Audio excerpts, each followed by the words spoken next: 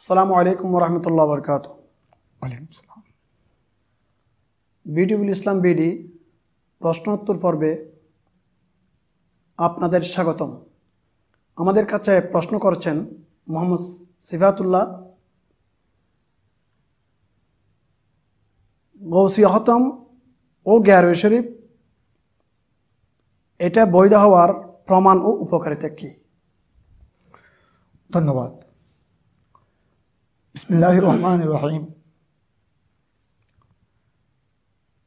মূলত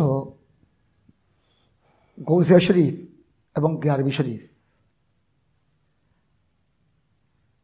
কিছু জিকির আসকার ওয়াজিফাকে একত্রিত করে পড়া হয়।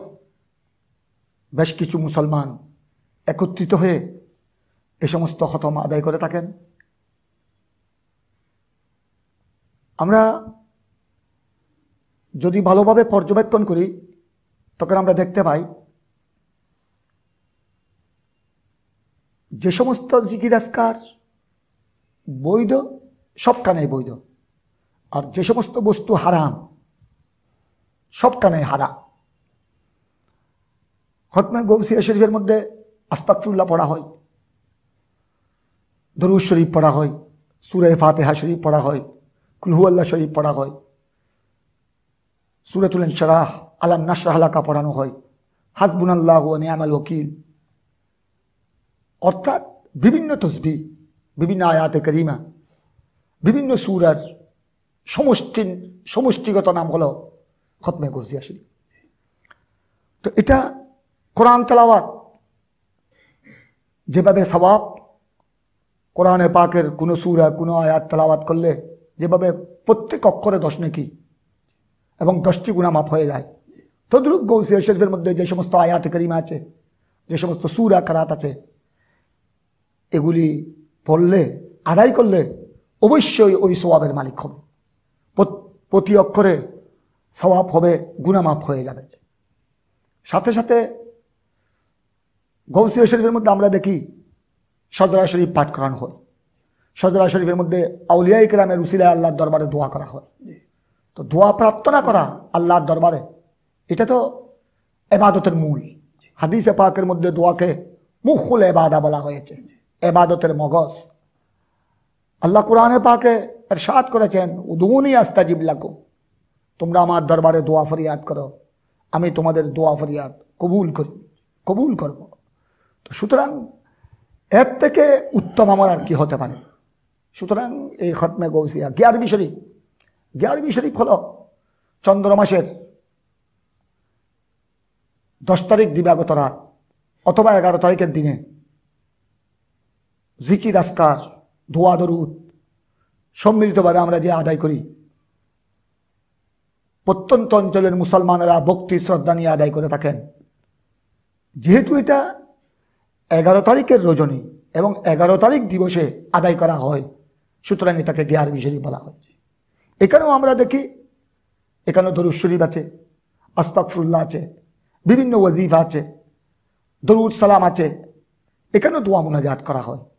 তো সুতরাং এগুলি অবশ্যই বৈধ, শুধু বৈধ নয়, এগুলি উত্তম এবাদত এগুলাকে ইসলামী ফিক ফতোয়া, ইসলামী আইনের যেগুলো কিতাব রয়েছে, নির্ভরযোগ্য ফিক ফতোয়ার কিতাবের মধ্যে এ সমস্ত এবাদতগুলোকে বলা হয়েছে। মুস্তাহাব, মসনুন, মন্দুবাদ, এগুলি উত্তম, অনেক বরকতমণ্ডিত। প্রত্যেকের জন্য যারা আয়োজন করবে তাদের জন্য, যারা অংশগ্রহণ করবে তাদের জন্য, যারা শ্রোতা মণ্ডলী, সকলের জন্য এটা উপকার। এমনকি দেখা যায়, চট্টগ্রাম আঞ্জুমানে রহমানী আহমদিয়া সুনিয়া থেকে প্রকাশিত আমাদের সজরা শরীফ, সজরায়ে আলিয়া কাদরিয়া। ওখানেও রয়েছে পাঁচ পৃষ্ঠার মধ্যে। যে কিয়ারবি শরীফ যারা নিয়মিত আদায় করে, এখানে বিভিন্ন কিতাবের উদ্ধৃতি দিয়ে বলা হয়েছে। ফাদা এলে গৌসিয়া, মিলাদ এবার হক বিভিন্ন কিতাবের উদ্ধৃতি রয়েছে যে যারা নিয়মিত গৌসিয়া শরীফ, সজরা শরীফ নিয়মিত ভক্তি আদবের সাথে আদায় করে, আল্লাহ তবরক তালা তাদের উপর খাস রহমান নাজিল করেন এবং তাদের আর্থিক জটিলতা, এটা দূরীভূত হয়ে যায়। সচ্ছলতা লাভে ধন্য হয়, রিজিক ফরাগত হয়ে যায়, আল্লাহর রহমতে ধন্য হয়ে যায়। তদুপরি আমরা হাদিসে পাকের মধ্যে দেখি, রসুল পাক সাল্লাহ তাল আলহি ওসাল্লাম এরশাদ করেছেন তানাজ্জালুর রাহমাতু ইনদা যিকরি সালিহিন। আল্লাহর নেককার বন্দাদের যেখানে জিকির আলোচনা করা হয়, সেখানে আল্লাহর রহমান নাজিল হয়। তো আমরা দেখি খতমে গৌসিয়া শরীফ ঘেয়ারবি শরীফ, এখানে কিছু তসবি তাহালিল আছে, কিছু কোরআন, কোরআনের হাদিসের কিছু আয়াত, দোয়া দিয়া রয়েছে। সাথে সাথে আল্লাহর ওলিদের স্মরণ করা হয় ওনাদের উসিলা নিয়ে আল্লাহর দরবারে দোয়া মুনাজাত করা হয়। তো সুতরাং অবশ্যই এ সমস্ত এবাদত ইসলামী শরীয়তের দৃষ্টিতে মঙ্গলময়, বরকতমণ্ডিত এবং সোয়াবজনক কল্যাণময়, অত্যন্ত উপকারী। তো এগুলোকে নিয়ে যারা বিদাত বলে, এগুলা কোরআন সুন্নার পরিপন্থী আমি তাদের শুভবুদ্ধি উপলব্ধির জন্য বলছি কি আস্তাকফিরুল্লাহ কি এটা কোরআন সুন্নার পরিপন্থী? আল্লাহর দরবারে ক্ষমা প্রার্থনা করা আস্তাকফার পড়া। দরুদ শরীফ পড়ার জন্য তো স্বয়ং আল্লাহ রব্বুল আলমীর নির্দেশ দিয়েছেন। ইয়া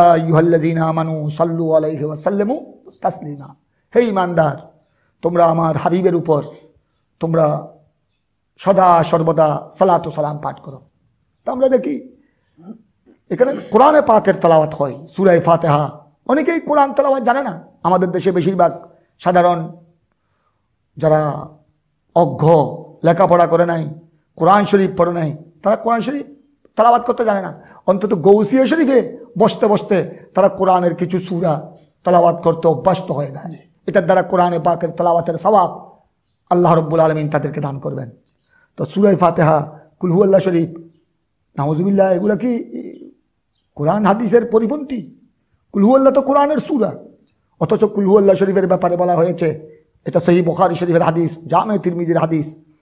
তিনবার কুলহু আল্লাহ শরীফ পড়লে তিরিশ পারা কোরআনে পাকের সবাব এক খতম কোরআনের সবাব আল্লাহ দান করেন। জি।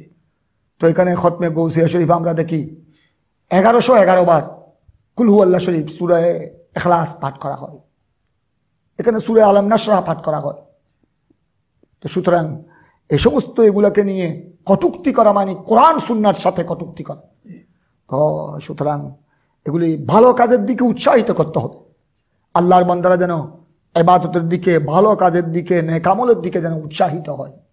তো এখানে বাধা দেয়া, এটা হলো কোরআনে পাকের বাসায় নেক কাজ, ভালো কাজ থেকে বাধা দেয়া, এটা সবচেয়ে বড় জালেম বলা হয়েছে। যারা এগুলো, এ সমস্ত কাজ থেকে সাধারণ, সরল প্রাণ মুসলমানকে বাধা সৃষ্টি করে, আজে বাজে কথা বলে বিভ্রান্তি সৃষ্টি করে, তাদেরকে বড় জালেম বলা হয়েছে।